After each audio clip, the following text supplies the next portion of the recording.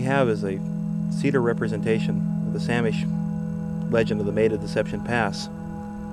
This woman's name is Ko-kwahl-alwoot, and she lived in the Rosario village just outside Deception Pass on Fidalgo Island.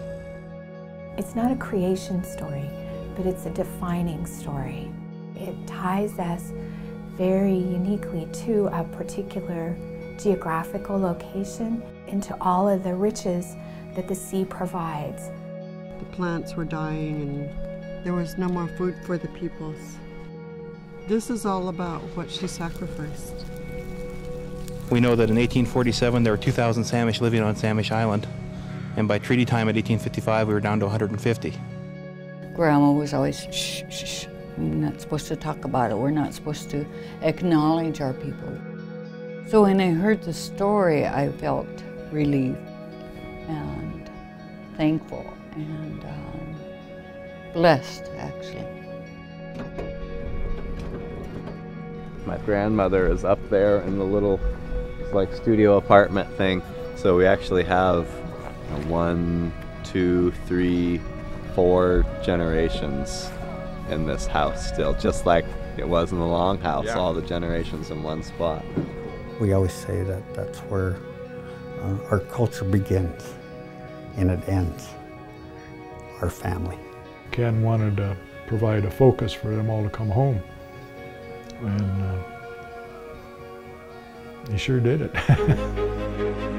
we put together endless notebooks to send back for our federal recognition. And the next thing you know, the government would say, nope, you don't exist. And then we'd have to start all over again. I had this model of the Maiden Deception Pass rolled up in a beach towel. Rolled it out and stood it up. And it was all over but the boat. Sure, I can carve that. No sweat. I'm a carver.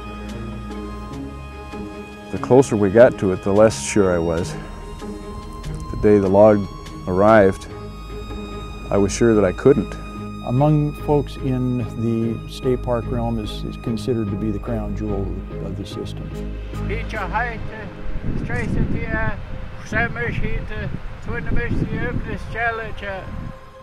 We believe as the currents flow back and forth through Deception Pass, her hair may still be seen drifting gently with the tide and that she is always there to look out for the welfare of the Samish people. The story of the water and the rocks and the trees and the fish. Story of carving as a tradition, as a part of a culture. It's not just the story of the maiden, but it's the story of the Samish people. The sacrifice that she made for her family and her tribe is timeless. We don't know how many more years any of us have to walk this land. And maybe this will be something that prevails. Here's something that came from the land, the spirit of the land, the spirit of the sea. Maybe they'll, maybe they'll still know that then. I hope so.